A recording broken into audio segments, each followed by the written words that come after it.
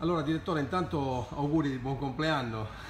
Grazie. Eh, si, si festeggeranno come dire, con una vittoria come, come sempre vuole il direttore sportivo Stianese, insomma a parte le battute domani bisogna vincere perché è chiaro che eh, la sconfitta di, di Sant'Agata ha rappresentato un momento di riflessione ma anche un momento che bisogna superare.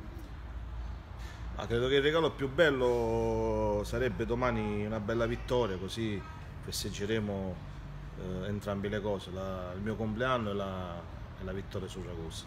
Io credo che ehm, domani bisogna avere un approccio eh, dai primi minuti importante, un approccio di agguerrito, un approccio di, di grande voglia di, di riscattare la sconfitta di domenica eh, ho visto una squadra arrabbiata in settimana, ho visto una squadra agguerrita e spero che domani entreranno così come li ho visti questa settimana in campo, così eh, credo che problemi non ce ne saranno nel battere il Ragusa. Se la squadra entrerà con questo piglio che ho visto in questi ultimi tre giorni di allenamento. Vittorio, ti voglio chiedere perché bisogna credere in questa Serie D? Quali sono gli elementi che fanno diciamo, propendere a questa idea? Perché qualcuno pensa che il Messina è in fuga, che insomma, potrebbe chiudere anzitempo il campionato.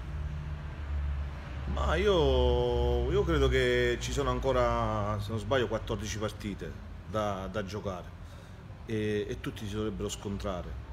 E le prime due giornate noi abbiamo preso due squadre, secondo me, due squadre forti. Uh, Camaro e Sant'Agata che, che, la diranno fino alla, alla, fine, se la giocheranno fino alla fine con tutte le altre 4-5 squadre che sono lì a giocarsi sia i playoff che il campionato.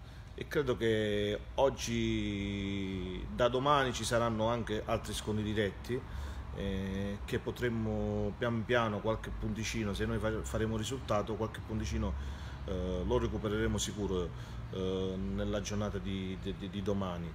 E, ehm, niente, Città di Messina sta facendo un grosso campionato e, e credo che eh, si debba dare merito a questa squadra che comunque non ha mollato, sta lì e si sta difendendo con, sta difendendo con la forza e con, con la voglia di, di, fare bene, ci stanno facendo bene, inutile eh, dirlo, ma, ma, contano i fatti. Purtroppo oggi eh, il Città di Messina è primo e, e dobbiamo dare atto che eh, è una squadra che sta facendo un grosso campionato.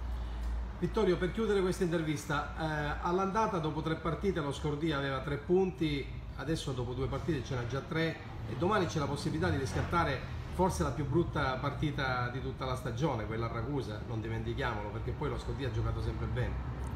Sì, sì, no, no, io ci tengo particolarmente a questa partita domani perché comunque dobbiamo riscattare subito dalla, parte dall'andata della brutta prestazione che abbiamo fatto a Ragusa, ma poi... Dico, sei d'accordo con me che partita, è stata una brutta prestazione? Sì, secondo me è una delle più... forse è stata l'unica prestazione eh, più brutta che abbiamo fatto quest'anno. Al di là della sconfitta di Sant'Agata, perché alla fine poi a Sant'Agata ci hanno condannato, contro Sant'Agata ci hanno condannato gli episodi eh, a loro favore. Eh, qualche sfortuna abbiamo avuto perché abbiamo avuto qualche infortunio sui gol, però ripeto eh, dobbiamo voltare pagina velocemente e cercare di, sai, di, dom di domani eh, dare quella, sco quella, quella scossa, quella, quella forza, quell'impronta che, che abbiamo dato fino ad oggi e la dobbiamo continuare a dare facendo un ottimo risultato.